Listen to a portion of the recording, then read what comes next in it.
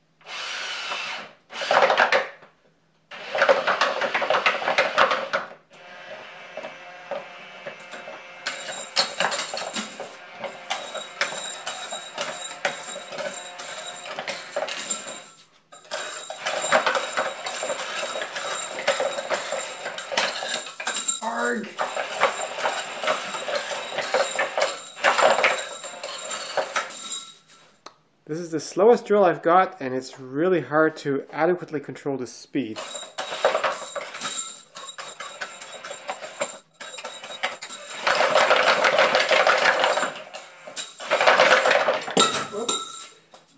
So I tell Rachel how hard it is to control the drill at low speeds and she says, why don't you just put a crank on it?